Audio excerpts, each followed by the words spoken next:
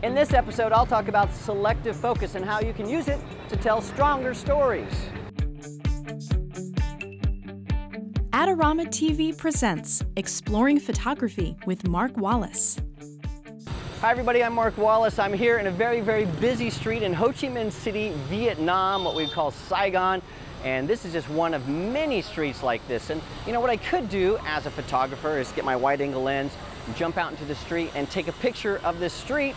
You can see this picture I took and it really doesn't tell a story as photographers, we're visual storytellers. And so instead of trying to tell all of the story all at once, there's a better solution, and that is to go and look for very specific stories along this street. And I can do that using something called selective focus.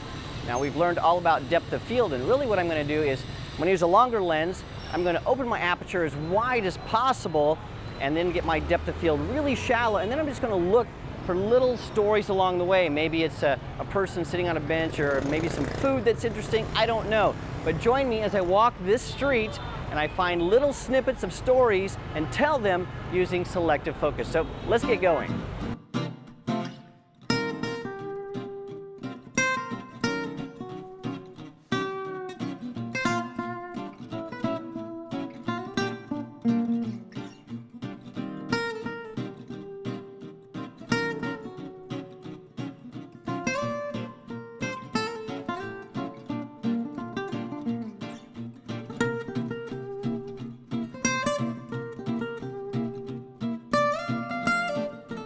Well, here in this very busy street, I'm also looking not just to sell single stories, but I'm looking for interesting stories to tell. I'm looking for patterns and color. And so these uh, lanterns right here have nice pattern. I can fill the frame with those, let them fall out of focus. And then we have these nice colors, the orange and the blue really complement each other.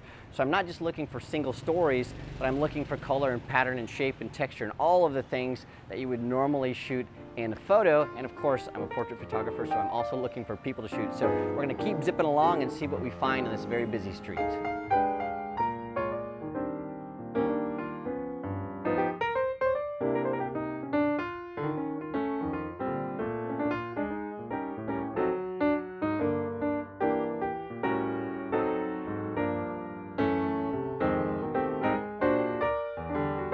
Selective focus is more than just opening up your aperture to get a shallow depth of field. What you're trying to do is to look and tell stories that are small parts of a larger story. So we're looking at something that could be as simple as a scratch on a motorcycle or a stool somebody's using to sit on or a pot somebody's cooking in.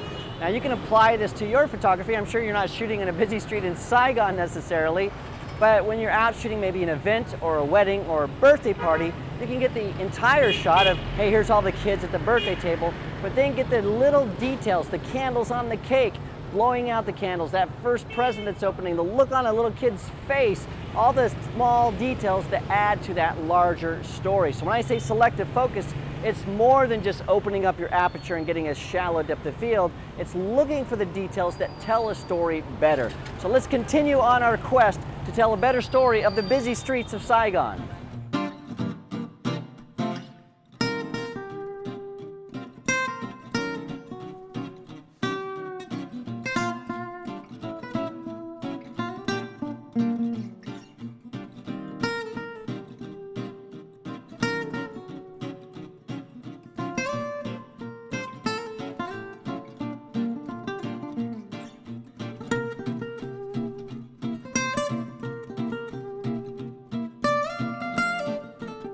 Well, the next time you find yourself in a really busy scenario like a crazy street in a city, or maybe something that's more realistic, like you're shooting at a wedding or a birthday party or an event, instead of trying to shoot everything that's happening all at once, look for specific smaller stories and tell those using selective focus. Open your aperture as wide as it'll go, get close, that is getting you a really nice shallow depth of field, and then you can show the little things that are happening in that scene, and that'll make a more meaningful story, and you can put that together if you need to with the overall story. So selective focus is something that you might want to try the next time you're out shooting an event or a birthday party, or if you're just traveling, it works really well. Well, thank you so much for joining me for this episode of Exploring Photography. Don't forget to check out the Adorama Learning Center. There are a lot of tutorials there. They're absolutely free, and also don't forget to subscribe subscribe. You can do that. Just click the button right now. It's absolutely free and you won't miss a single episode. Thanks for joining me and I will see you again next time.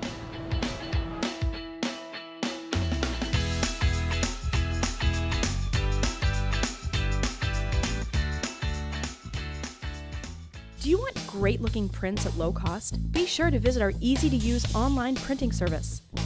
Adorama Pix has professionals who treat your images with the utmost care that you can count on. For a quick turnaround on photos, cards, or albums, use AdoramaPix.com.